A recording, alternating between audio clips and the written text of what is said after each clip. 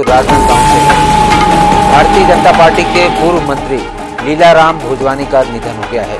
कुछ दिनों से वे बीमार चल रहे थे। भोजवानी रायपुर के एक निजी अस्पताल में भर्ती थे, जहाँ उन्होंने अंतिम सांस ली। पूर्व मंत्री के निधन पर भारतीय जनता पार्टी में शोक की लहर है। तो ये बड़ी खबर आप देख रहे हैं राजनांदगांव से, जहाँ पूर्व मंत्री लीलाराम भोजवानी के निधन की खबर है ये। कुछ दिनों से वे बीमार चल रहे थे। रायपुर के एक निजी अस्पताल में उन्होंने अपनी अंतिम सांस ली। पूर्व मंत्री के निधन पर भाजपा में शोक की लहर है। भारतीय जनता पार्टी के वरिष्ठ और पूर्व मंत्री लीलाराम भुजवानी का निधन हो गया है।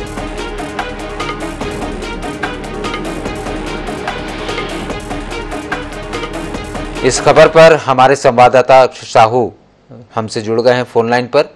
हम उनसे जानते हैं जी अक्षय जी बताएँ लीलाराम भोजवानी के निधन की दुखद खबर मिल रही है।